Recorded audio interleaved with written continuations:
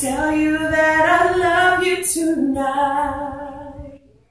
But I know that I've got time on my side. Where you going? Why you leaving so soon? Is there somewhere else that's better for you?